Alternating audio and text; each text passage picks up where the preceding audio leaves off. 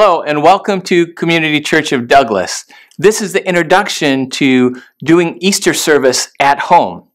Now, we have a service guide online at www.ccofdouglas.org. You can download it there, or also if you're watching on YouTube, it'll be in a link below, or if you're on Facebook, we'll also include a link for this worship guide.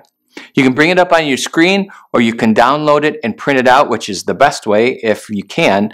Uh, and then follow the worship guide for your Easter morning worship.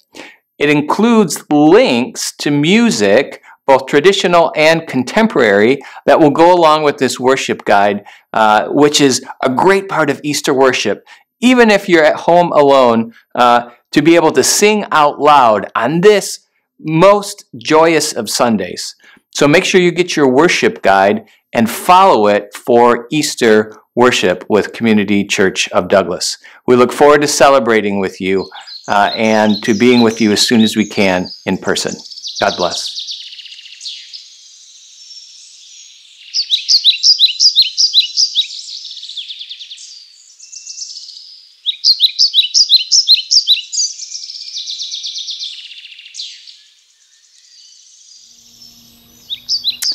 Welcome to Community Church of Douglas and our Resurrection Sunday worship celebration. If you haven't already, would you download your worship guide at www.ccofdouglas.org and follow along our order of worship this morning as we celebrate the resurrection of Jesus. This is the morning of the third day.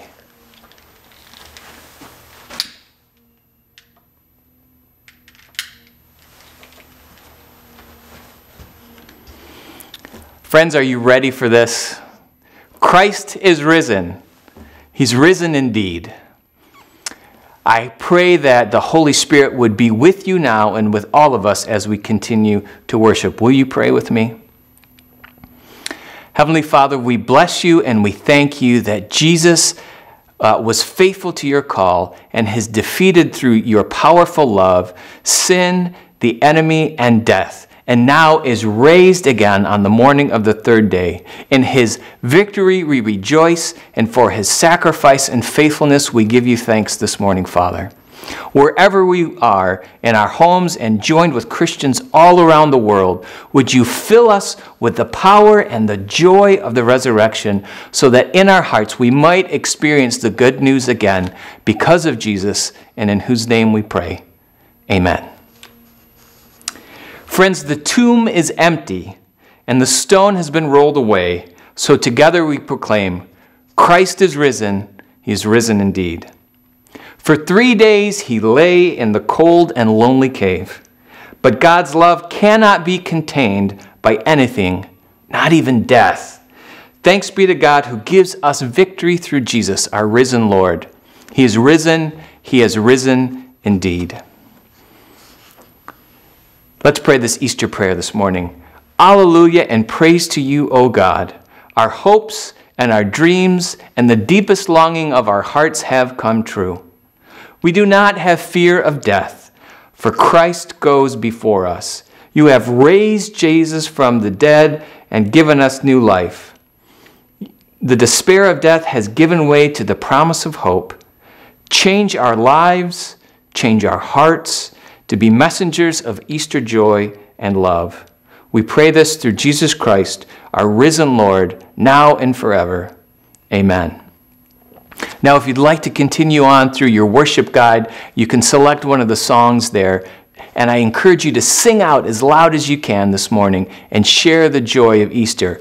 Fill your hearts, your minds, and your homes with music.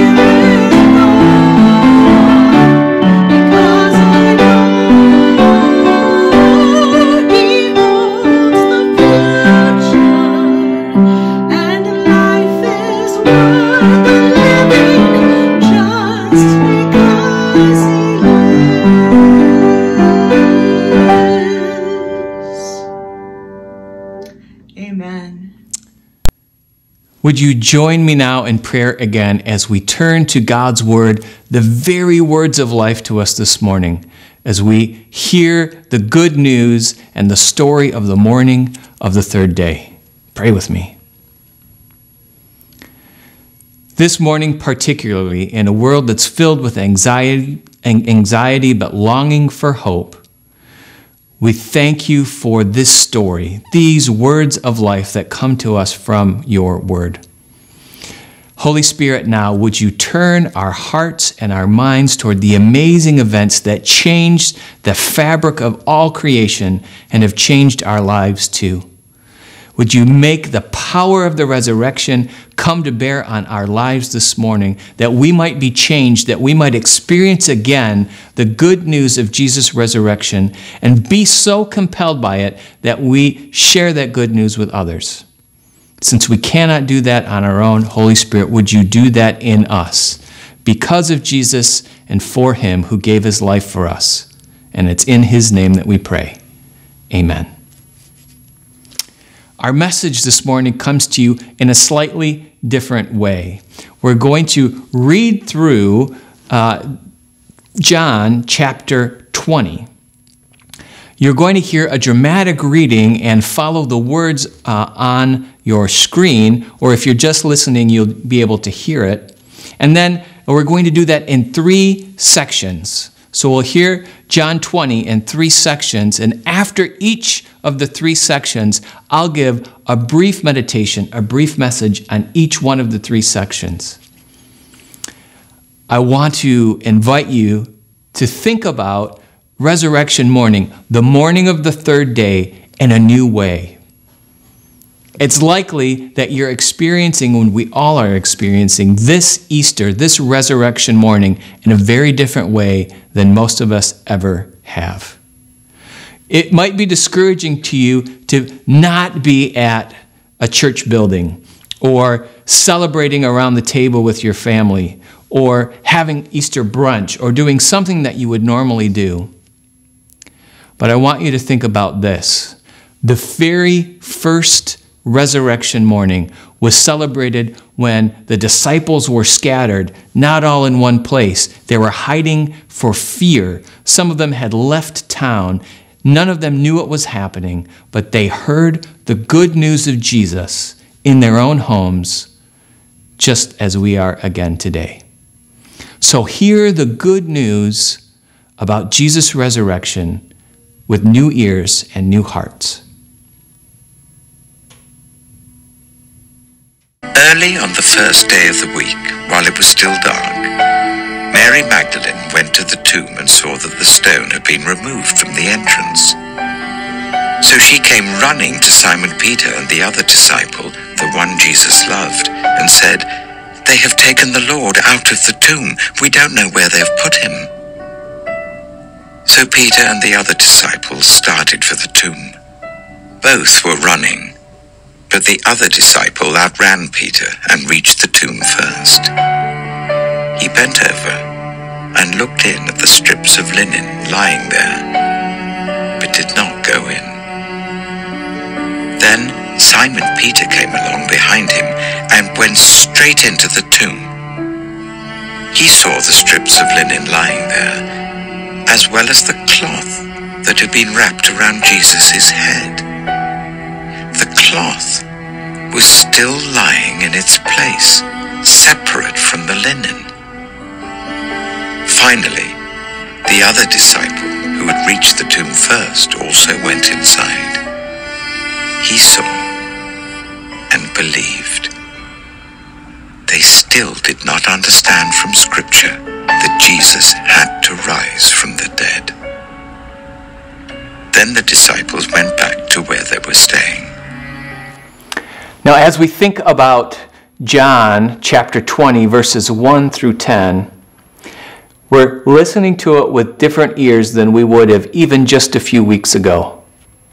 All of us are in some way almost experts in virology, how viruses work. Life and living things have a pattern, even viruses. And it's no coincidence that we think about Jesus and what happened in the resurrection as new life. It starts somewhere, a virus does, and it spreads one by one. Everything has to have contact somewhere in order for a virus to spread. Actually, healthy things do uh, replicate that way too. And there's nothing more powerful, more life giving than the good news that Jesus has been risen from the dead. He did not die. Jesus came alive again just as he said he would be, just as he said he would. That experience of new life is real. And it's not just a story, it can be experienced and it's cellular. Now, Mary, in her incredible faithfulness, was the first to hear and experience and then spread the good news about Jesus. Then came Peter and John racing after her to experience it for themselves and then take it back home. What if we use these turn of events, the challenges that we're currently experiencing of the coronavirus, as a turnaround moment? As something to reorient our lives and our attention and our understanding, even our experience of the gospel this morning. What if we use it to teach us how to experience and share the good news again? The good news about Jesus, new life always starts in and with Jesus. He did the work.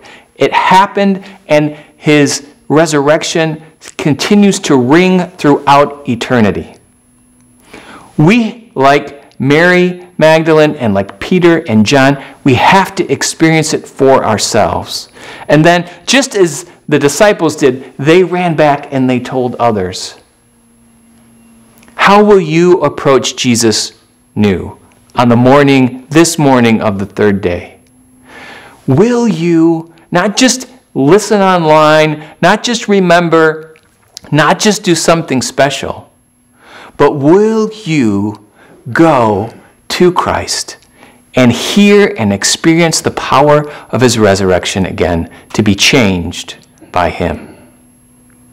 Let's listen as the story continues. Weeping outside the tomb, and as she wept, she stooped to look into the tomb. And she saw two angels in white, sitting where the body of Jesus had lain, one at the head and one at the feet. They said to her, Woman, why are you weeping? She said to them, They have taken away my Lord, and I do not know where they have laid him. Having said this, she turned around and saw Jesus standing, she did not know that it was Jesus. Jesus said to her, Woman, why are you weeping? Whom are you seeking? Supposing him to be the gardener, she said to him, Sir, if you have carried him away, tell me where you have laid him, and I will take him away. Jesus said to her, Mary. She turned and said to him in Aramaic, Rabboni, which means teacher. Jesus said to her, Do not cling to me, for I have not yet ascended to the Father but go to my brothers and say to them, I am ascending to my Father and your Father, to my God and your God. Mary Magdalene went and announced to the disciples, I have seen the Lord, and that he had said these things to her. That was John chapter 20, verses 11 through 18. It's one of the most beautiful moments in all of history, and definitely for me, one of the most beautiful moments in all of Scripture. Mary is the first person at daybreak. As soon as the Sabbath restrictions were lifted, she runs out, not knowing what she's going to find, to encounter Jesus, even to find him and minister to his body, which she thinks she will find in his grave. What motivated her? Was it grief? Probably. Was it faithfulness? Yes. Was it love? Definitely. But why is she different? Why is Mary Magdalene different than all the other disciples? Because she experienced the life altering, loving power of Jesus herself. Now, this is Mary who had been delivered of seven demons. She had demonic possession. Evil lived in her. It was her experience inside and out every day of her life for however long she was oppressed by the enemy. Then Jesus delivered her of that demonic oppression, and she was completely changed. About another woman named Mary, Jesus said this in the Gospel of Luke. So I'm telling you, Jesus is speaking to the Pharisees, that her sins, as many as they are, have been forgiven, and that's why she has shown me such great love. But the one to whom little is forgiven loves little. Friends, this morning, if you allow Jesus to see your brokenness and you invite him to heal you, not just to go to church, not just to do religious things, then you will have the kind of relationship that Mary has with Jesus. The kind of relationships that sees you running to find Him first, no matter your circumstances. And it is that motivation that means you will hear Jesus say your name first. You too will hear Him pronounce your name on your own morning of the third day. The good news isn't just for religious people, especially the good news on Easter, on resurrection morning, is for those of us, the broken, those who are oppressed, oppressed by evil stuff, public sinners, and those who are rarely found in a church setting on Easter morning. To you, particularly, belongs the good news of the third day. It's not just for religious people. In fact, it is experienced most powerfully by those who are estranged from Jesus, who are weighed down by the power of the world and sin and death. Today, maybe this moment now, is also the morning of your own third day. Will you invite Jesus to heal you so that you can hear him say your name and you can respond, Teacher? On the evening of that day, the first day of the week, the doors being locked where the disciples were for fear of the Jews, Jesus came and stood among them and said to them, Peace be with you. When he had said this, he showed them his hands and his side. Then the disciples were glad when they saw the Lord. Jesus said to them again, Peace be with you. As the Father has sent me, even so I am sending you. And when he had said this, he breathed on them and said to them, Receive the Holy Spirit. If you forgive the sins of any, they are forgiven them. If you withhold forgiveness from any, it is withheld. We've all just heard the third part of the story from John chapter 20, verses 19 to 23 in this third act of the story, the good news finally comes at last, but not least, to the disciples that evening.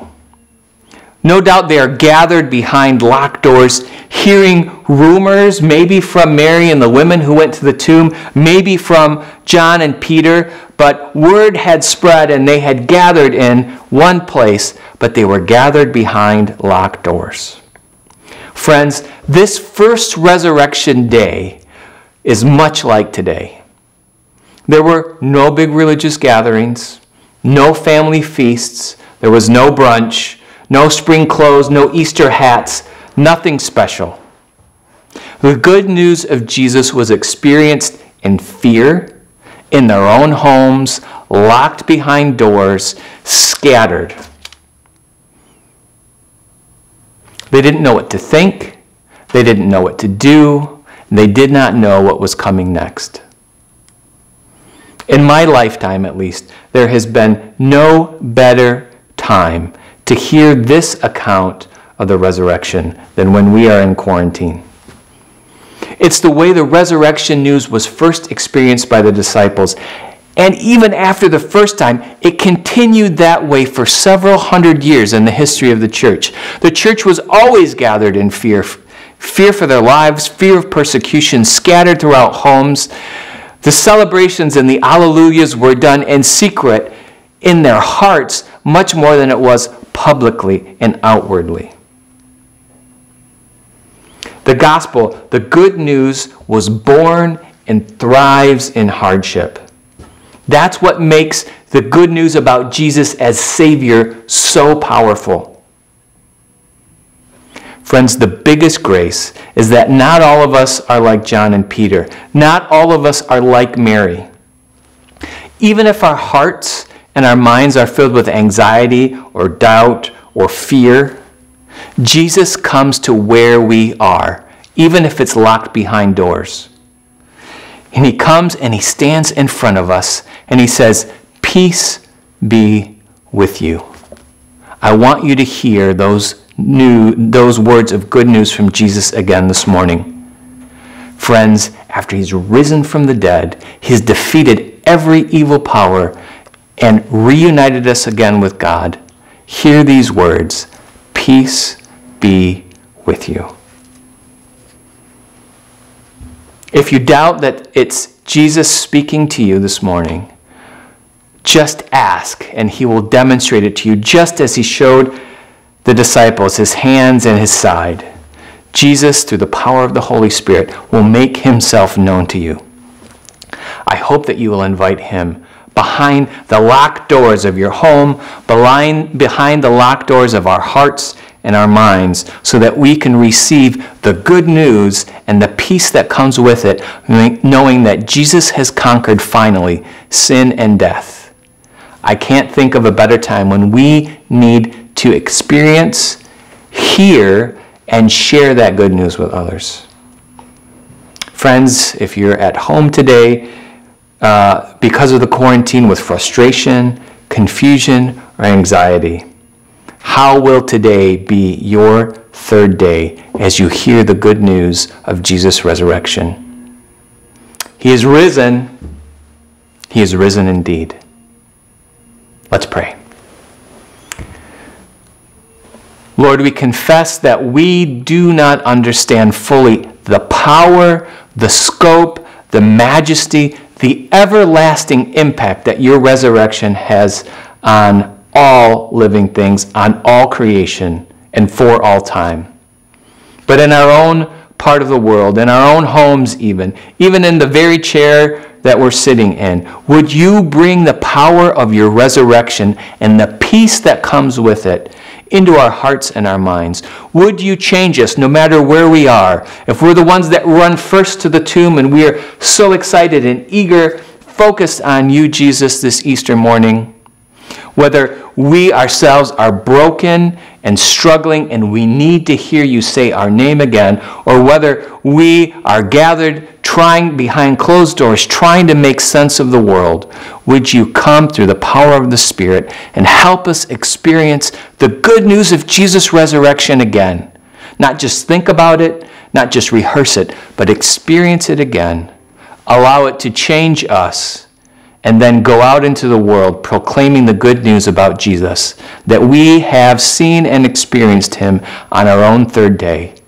And it's in Jesus' name that we pray. Amen. Friends, I want to give you this blessing.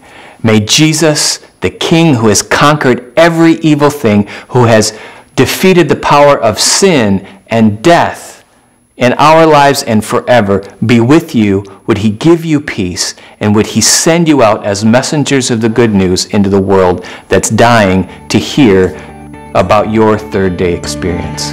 Go in peace.